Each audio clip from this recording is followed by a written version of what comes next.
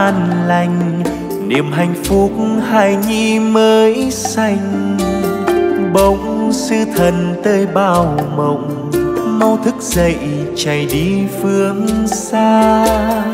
Bởi vì vua Herode đòi chu di hài nhi thánh vương, liền vâng theo gấp lên đường, thánh gia đành một thời tha hương.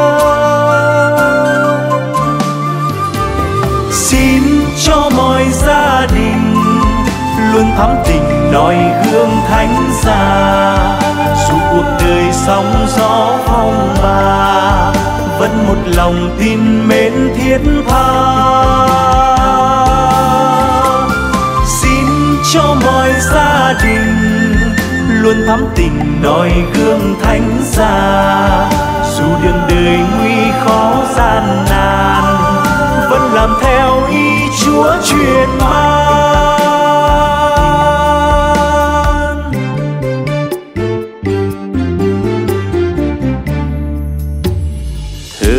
tạm cư bên ai cập, miền quê hương ngày đêm nhớ thương.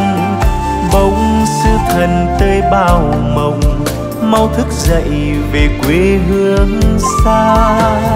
Bởi vì vua Herode đã qua đi giờ chi ác vương. Liền vâng theo gấp lên đường, thanh ra mừng trở về quê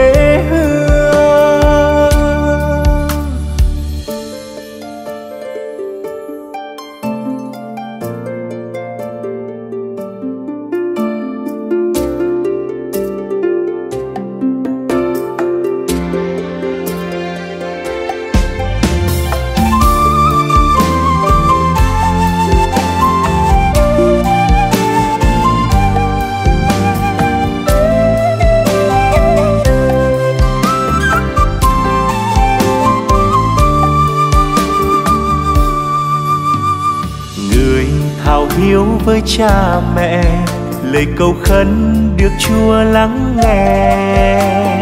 Sẽ lấp bù những lỗi lầm, công đức họ tồn lưu trong kho. Người làm con luôn hiếu nghĩa, là gương sáng chẳng ai lãng quên.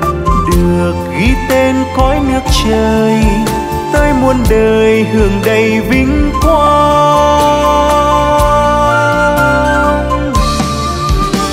xin cho mọi gia đình luôn thắm tình nói gương thánh xa.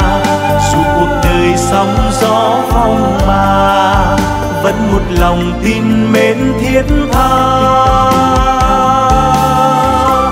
xin cho mọi gia đình luôn thắm tình noi gương thánh gia. Dù đường đời nguy khó gian nan, vẫn làm theo ý chúa truyền ban.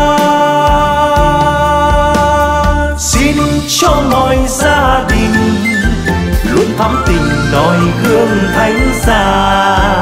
Dù cuộc đời sóng gió phong ba, vẫn một lòng tin